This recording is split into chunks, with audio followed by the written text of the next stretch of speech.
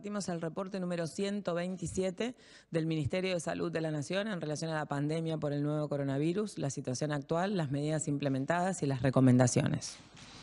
327 son los casos confirmados en la fecha de ayer de coronavirus en la Argentina, 7.805 los casos totales en la pandemia en lo que va en nuestro país, 17,3 casos cada 100.000 habitantes, la tasa de incidencia, 40 años la edad promedio, 50,6 afectando a varones, 49,4 afectando a mujeres, un 30% de la población afectada posee cobertura estatal exclusiva por parte del Estado en salud y un 70% cobertura de obras sociales o empresas de medicina prepaga. 366 son las personas fallecidas. En la noche de ayer nos han informado de tres casos con respecto al último reporte. 4,6% es la tasa de letalidad y son ocho fallecimientos por millón de habitantes la tasa de mortalidad general por coronavirus en nuestro país.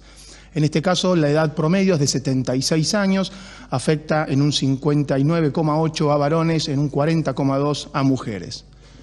El 12,5% de los casos se ha producido a partir de una transmisión generada, en el caso de coronavirus, por un viaje al exterior.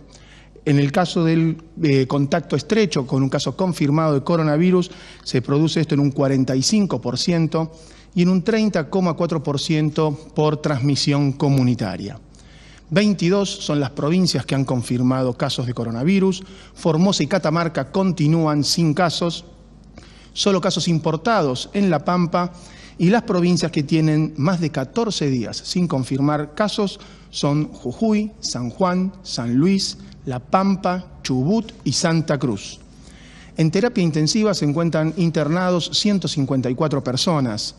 Han sido dadas de alta de establecimientos de salud 2.569 personas, correspondiente a un 33% de los casos confirmados totales en nuestro país. 2.461 ya tienen alta definitiva. También se han descartado casos, en un 99,2% estos descartes de casos se han producido por exámenes de laboratorio negativo, el resto por no cumplir con criterios epidemiológicos de casos sospechosos y el número total de casos descartados es de 78.207. La cantidad de test que se han realizado en la Argentina ascienden a 103.220. 2.858 en las 24 horas de ayer en nuestra red de 314 laboratorios públicos y privados, con un porcentaje de positividad acumulado de 9,13% y hemos llegado a 2.274 test por millón de habitantes. La situación argentina en el contexto mundial, según la Organización Mundial de la Salud, informamos que 4.425.000 son los casos a nivel mundial, 86.800 casos en las últimas 24 horas, con una letalidad de 302.000 casos, personas en el mundo, 4.940 en la fecha de ayer. América representa el 43% de los casos a nivel mundial y el 38% de los fallecimientos a nivel mundial. América, en valores absolutos, alcanza la cifra de 1.909.000 casos, de los cuales 1.382.000 se encuentran en Estados Unidos, 202.000 en Brasil y Argentina representa el 0,4% de los casos confirmados en nuestro continente. 154 son las personas que están internadas en terapia intensiva, confirmadas, más de 2.500 personas recuperadas y el porcentaje de letalidad está en 4.6%. Vamos a ir compartiendo estos parámetros que monitoreamos todos los días. El porcentaje de positividad eh, promedio desde el inicio de, la pandemia eh, está superando el 9% y en el día de hoy está alrededor del 11%, más de 2.200 test por millón de habitantes son eh, la muestra de esta descentralización de los laboratorios y el trabajo que se genera tanto en el sector público como el privado en cada una de las 24 jurisdicciones, trabajando fuertemente para eh, sensibilizar eh, el diagnóstico, trabajar en este concepto que es tan importante de la detección precoz para confirmar o descartar un caso y de esa forma poder prestarle cuidado y realizar el aislamiento, que en este momento es la opción más efectiva que tenemos para controlar la transmisión y trabajar en función de la situación epidemiológica de cada una de las áreas del país, las eh, provincias que no tienen casos, que tienen solo casos importados o que no tienen más casos hace 15 días confirmados, que son ocho en todo el país, seguir con esta sensibilidad, con esta alerta, con esta búsqueda activa para poder identificar precozmente cualquier eh, caso que pueda configurar un caso de coronavirus. En las demás provincias que han logrado aplanar la curva o que están trabajando con alguna situación puntual en algún área de la provincia, intensificar la detección, esta búsqueda activa específica que plantea el detectar este dispositivo estratégico de testeo para coronavirus en territorio de Argentina es una gran opción para poder intervenir en forma oportuna e interrumpir esa transmisión. Y en eh, el AMBA, en la región metropolitana de Buenos Aires, volver a recordar la importancia que tiene cumplir con las recomendaciones, eh, realizar eh, la actividad que tenemos autorizada, que tenemos exceptuada para hacer en el menor tiempo posible, minimizar las salidas, volver a casa y cumplir cada una de las recomendaciones desde lo individual y desde eh, el, área, digamos, el área de productividad, el área de producción, el comercio que se ha habilitado para minimizar la transmisión.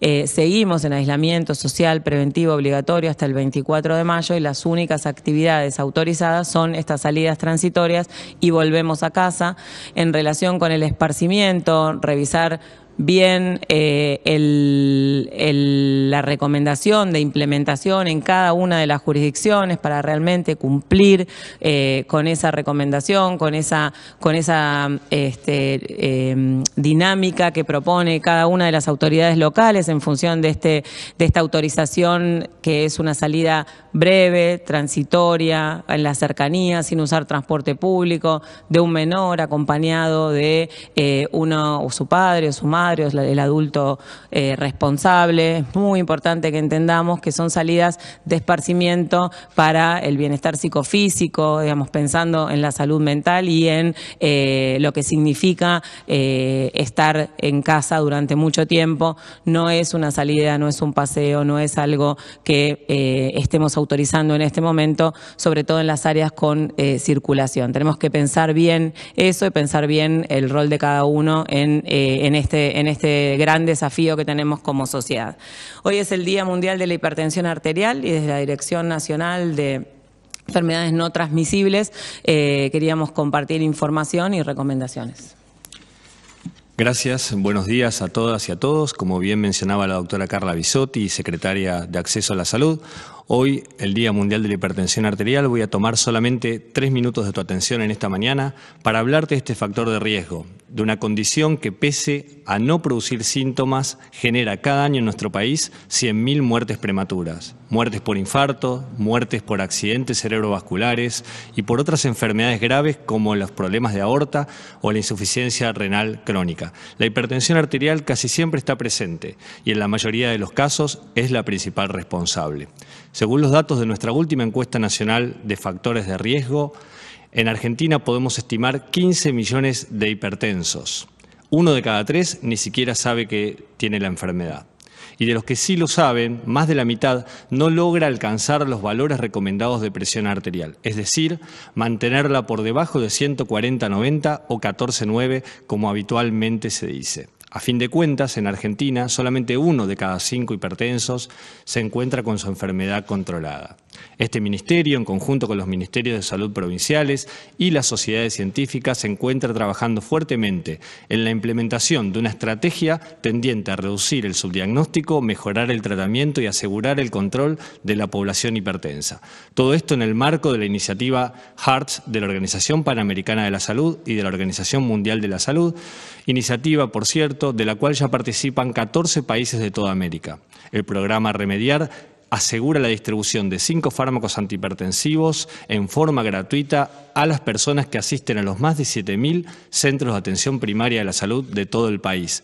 Además, en este contexto de pandemia por el coronavirus COVID-19, se han habilitado la posibilidad de teleconsultas, de recetas virtuales y muchas jurisdicciones, incluso la mayoría de las farmacias, han establecido mecanismos para dispensar la medicación al domicilio de los pacientes. Recordad que, como siempre decimos, las personas mayores y aquellas con comorbilidades, como las enfermedades cardiovasculares, tienen mayor riesgo de formas graves por COVID-19. Por eso es muy importante que tomes la medicación todos los días y no la suspendas. Recordad que las indicaciones hechas por tu médico y cumplir con el aislamiento social son tus mejores armas frente al virus. No hagas caso a algunas noticias que circulan por ciertos medios de comunicación o incluso por las redes sociales y que asocian a la medicación antihipertensiva con riesgos de infección por el virus. Estas noticias no son ciertas. La medicación antihipertensiva es eficaz y segura. Por último, quería recalcar algo que es muy, pero muy importante. Si llegas a presentar algún síntoma fuera de lo habitual, como dolor de pecho intenso, pérdida de fuerza o de sensibilidad en alguna parte de tu cuerpo, falta de aire, no tengas miedo y consulta en forma urgente a un servicio de emergencias. Todos los establecimientos sanitarios de nuestro país tienen los protocolos de bioseguridad al día para brindarte la atención que necesitas sin riesgo a que te contagies. Recordá siempre que tanto en las emergencias cardio como cerebrovasculares el tiempo lo es todo. Consultá en forma urgente y tenés siempre presente que frente al coronavirus y también frente a la hipertensión arterial, los argentinos nos cuidamos entre todos. Muchas gracias. Pensaba en, todos estos espacios para, poder compartir reflexiones de muchísimos temas y áreas de la salud que eh, ahora estamos cursando esta pandemia que requiere toda nuestra atención, y, pero que ojalá que, que después de la pandemia la salud siga estando en el centro, la prevención, la promoción de la salud y el acceso al diagnóstico y al tratamiento más allá de esta pandemia. Muchas gracias.